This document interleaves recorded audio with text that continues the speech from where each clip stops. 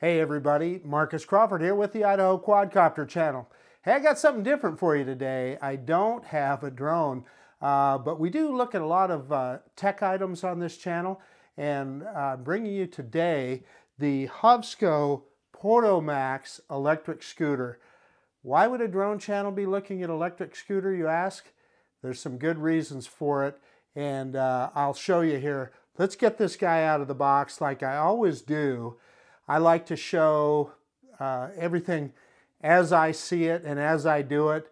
Uh, so let's pull it out of the box. I don't know how much assembly is going to be required on this uh, scooter, uh, but we'll get it out and we'll find out together. I'll go over all the features and all of the specifications of this product uh, here in just a few minutes. But uh, let's quit messing around. let's get this scooter out of the box. Okay, let's open this guy up and see what we can see. They use they use plenty of glue on this uh, on this box, I can tell you, which is probably a good thing. You wouldn't want it coming open in transit. Okay, we've got a retail box inside, so uh, let me get that out of there. So, okay, here's uh, the retail box, and it, it, gives you all the specifications on the side there, and gives you a look at the uh, at the scooter itself. Uh, so I'm noticing some differences on the side of the box here what it says for specifications. Uh, but uh, it is saying that it has app uh, connectivity, so we'll look into that Bluetooth uh, connection with an app, so we'll check that out. Uh, but this is saying a 350 watt motor on the box. Uh, on the website, it says a 500 watt motor. and then it's talking about a range of 35 miles. That's the same as what it says on the website as well. 12 inch tire size, which is a good thing. You can look at these tires and those, those are uh, air-filled tires, uh, pneumatic tires, which is a good thing. The box is saying max speed of 15 miles an hour. On the website, it says 19 miles an hour, so we'll be able to check that out. 15 degree grade rating, in other words, it'll climb up a 15 degree uh, grade.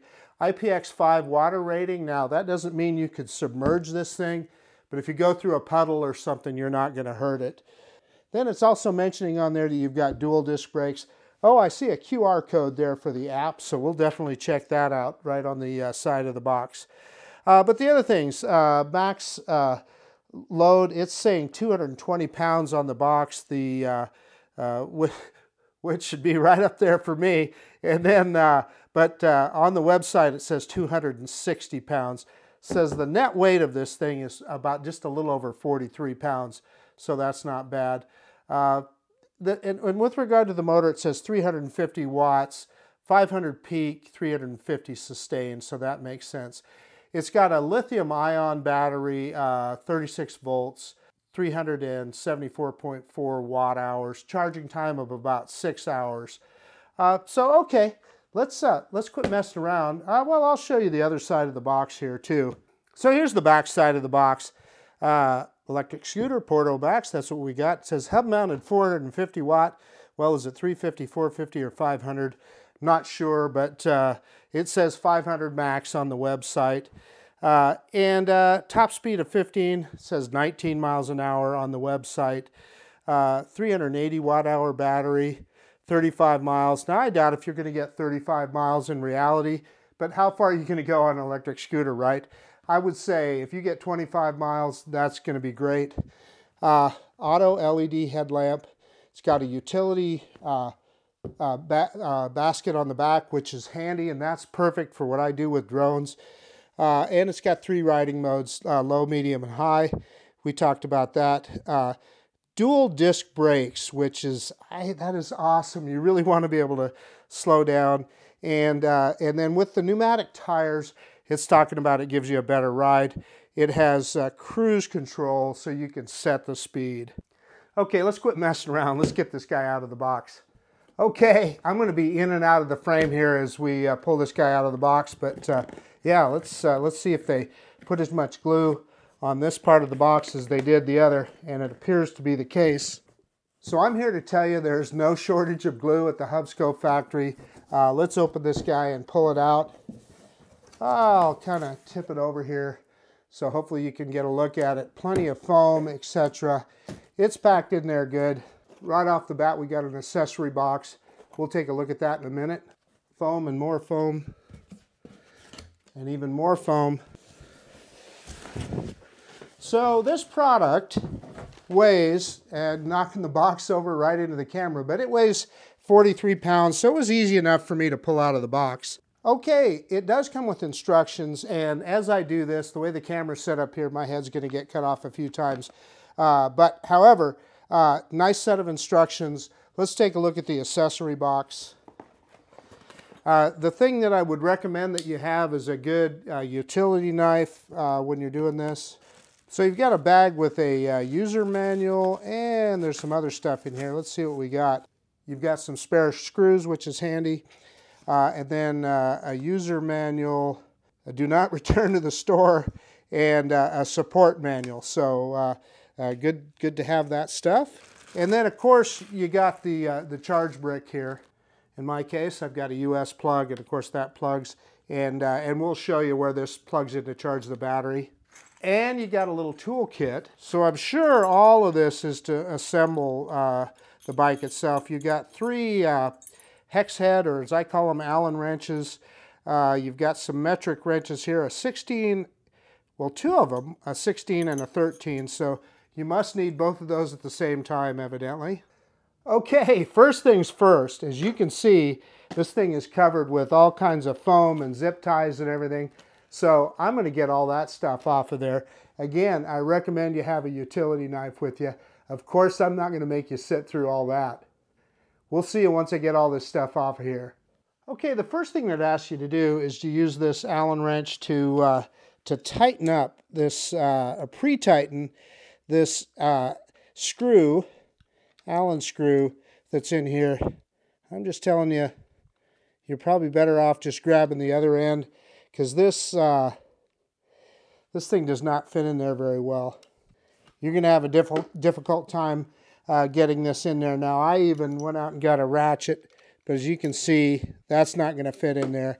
It's just a tight spot, so uh, no easy way there, but uh, I don't know. I tightened it as best I could maybe even too much uh, with my finger here.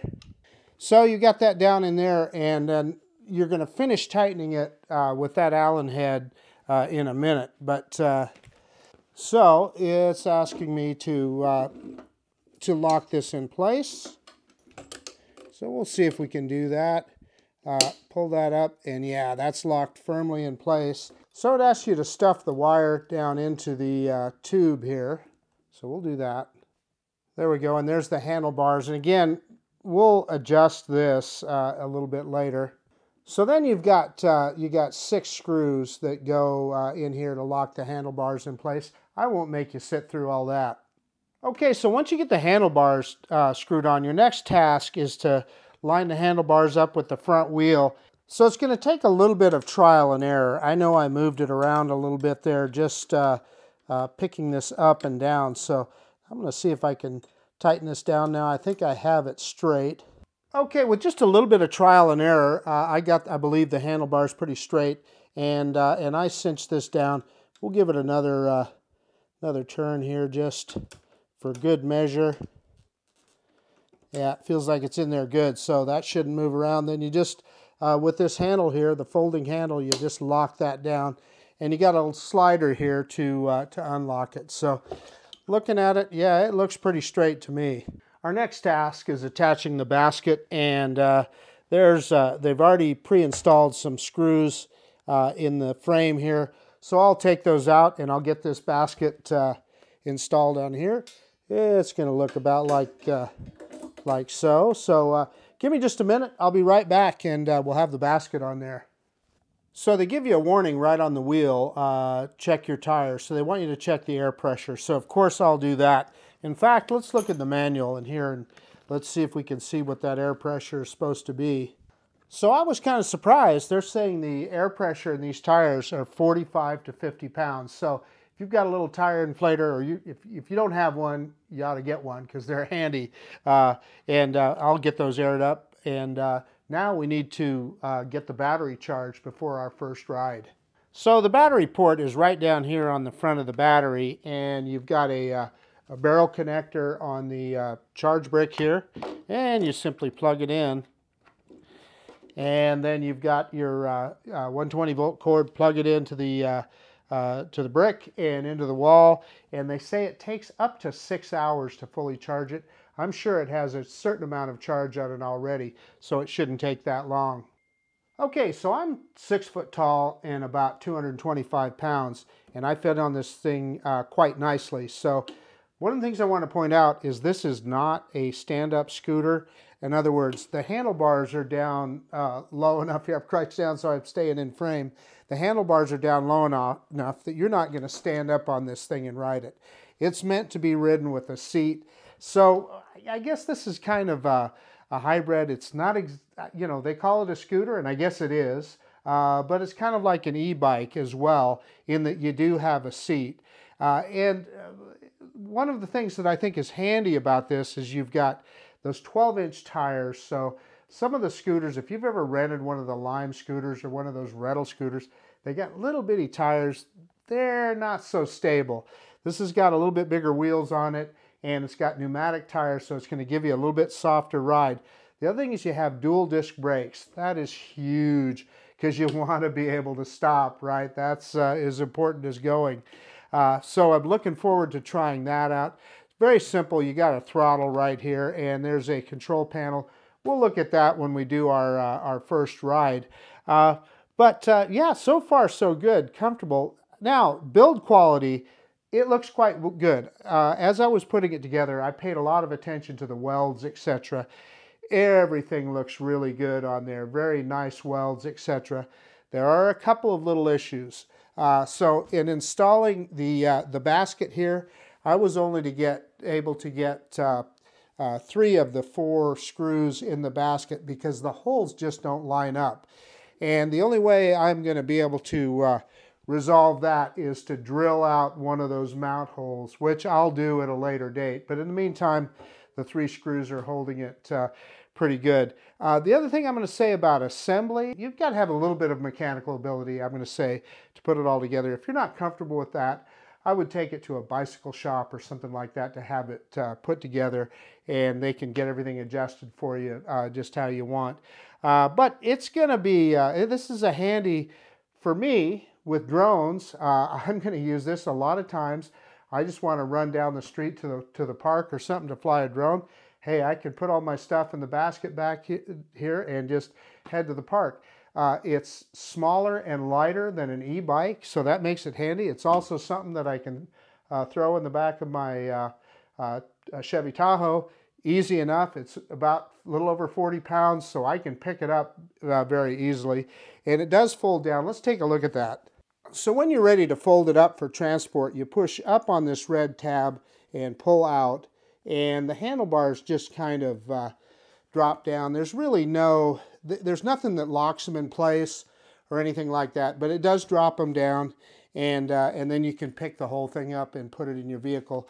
That way you don't have to be as tall as it is when it's uh, fully extended. And uh, when you extend it, make sure that it is locked in place. So let me get this scooter charged up and we'll take it out for its first ride. Uh, I'm going to tell you, I'm not sure I recommend assembling it in your living room like I did, although it can be done easy enough. There's nothing too terribly messy about it, but you're probably better off doing it out in your garage. Anyway, uh, let me get it all charged up and we'll take it out for a ride. Hey, okay, so I'm going to take my first ride on the uh, Porto Max, the Hovsco Porto Max uh, scooter, sit-down scooter, I should say. Uh, I've got it in medium power mode, and I'm going to ride over to uh, the schoolyard that's not far from my house. So when we get over there, I'll set up the tripod so we could get some uh, views of the uh, of the scooter, me riding, actually riding the scooter around. But in the meantime, here's a here's a first-person view, and we'll just this is my first ride on it, so you guys are getting the the first view here. Yeah, not bad. And I got the tires all aired up. Just went over the curb, didn't feel too bad. Uh, so yeah, not bad at all. Let's uh, let's head over to the uh, let's head over to the school. Adjust this camera just a little. And uh, yeah, we're in uh, medium mode here. I hit uh, full throttle and it's saying nine miles an hour on the, uh, let's now, now it's up to 10. So I think it's supposed to go 12 miles an hour. There's 11. Uh, so yeah, it's getting there. Fast enough on a little scooter, I'll say. Uh, but yeah, pretty easy to operate. I mean, you know, like I said, this is my first, you guys are witnessing my first time on the scooter. And uh, let's see what we can get it up to here. 11 miles an hour. It says 12 miles an hour top speed in this, uh, in this mode. Let's see if we can get to that 12. Maybe. Now it seems to be right at 11. Now, I will say this. Uh, I'm a heavy guy, so, uh, uh, you know, I'm at probably pretty close to the max rating uh, for the scooter. I think max is uh, 250 or 240, something like that. And, uh, and I'm uh, 225, so uh, yeah, I'm definitely up there. But it feels good, so I just moved onto the sidewalk here. And yeah, I mean, I'm feeling good. So yeah, as soon as I, uh, as soon as I get into the parking lot of the, of the schoolyard here, and the brakes are quite good. I just uh, am making it around the corner here. And uh, yeah, the, you know, had to hit the brakes there. Did quite quite good.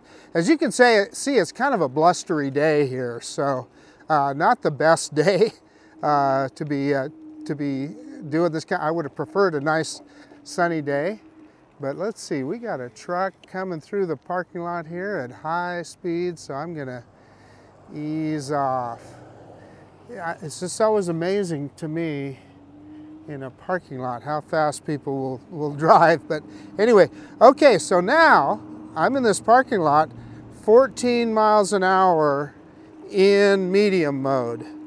That's indicated. We got a stop sign here, so we'll stop at the stop sign. Man, the brakes are really powerful, so I'm, that's, uh, that's a good sign. So, you know, I just hit the gas full throttle. Acceleration, it's not going to break you. It's not uh, neck breaking, that's for sure. So uh, let me, I'm going to stop right here and uh, throw it in high speed mode and uh, we'll see how much of a difference that makes. So I just, uh, two pushes of the button on the control panel. We're in high speed mode. Let's try it again. I don't necessarily see a lot of difference in acceleration, but it definitely, yeah, I mean, it's picking up. There's 12. I think it says 15 miles an hour top speed. Am I, or 19 maybe it was. There's 15. And it seems to be stopping at 15 miles an hour. And you know what I realized is uh, I was I was going with the wind. We got a, it's a really windy day today. You can't hear it because I got the wind muff on this uh, on my, uh, on my microphone, but uh, it's a quite windy day. So let's, I'm gonna see if, what it'll do. I'm gonna get on a road here where I can go with the wind.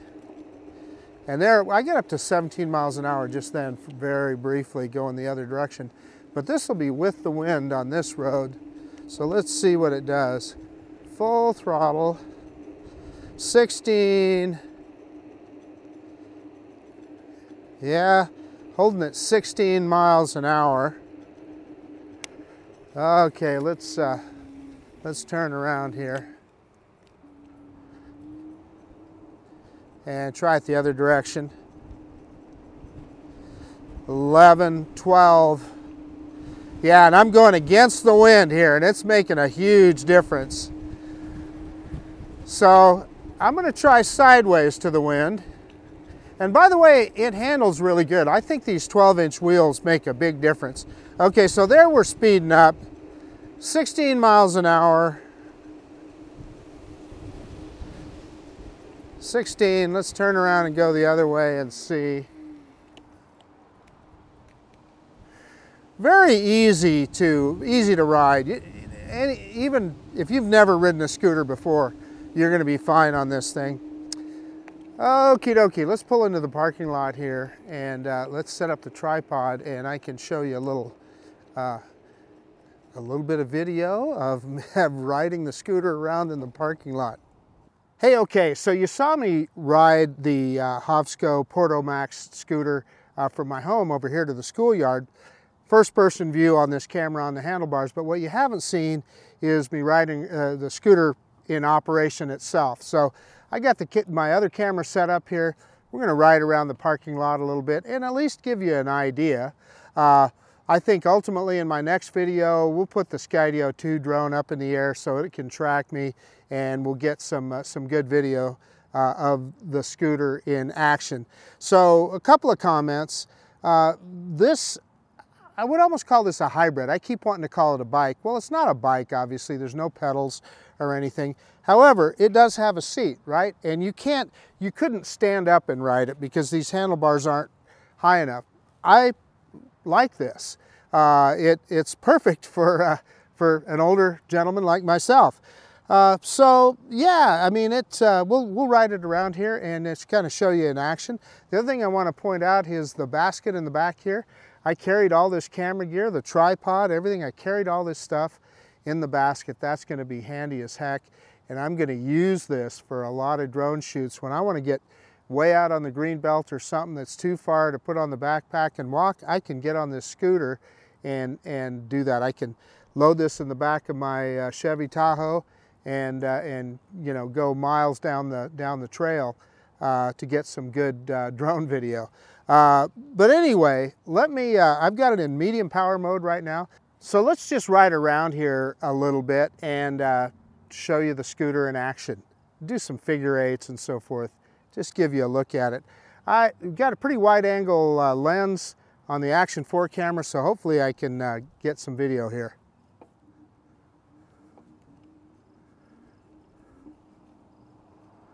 Just doing some, uh, do a couple figure eights here. And it's, as you can see, it's really easy to handle. I'm no uh, expert, uh, and, and truthfully, other than riding one Lime scooter one other time, this is the first time I've ever ridden a scooter around. So uh, this is new to me. This is in medium speed and it's very easy to control, uh, not having any problems at all. Uh, so yeah, I mean, uh, that's, the, that's the scooter itself. I'll do a much more extensive video uh, later on and show you. Well, like I said, I'll take, the, I'll take a drone with me. We'll put the drone up in the air, do some tracking and, uh, and go on some adventures with this uh, uh, Hovsco uh, Porto Max scooter. So uh, I'm going to try one other thing here. I want to put it in low speed mode. Oops, I turned on the headlight. That's one thing I didn't show you. See the headlight here? Uh, you can turn that on and off just one push of the button.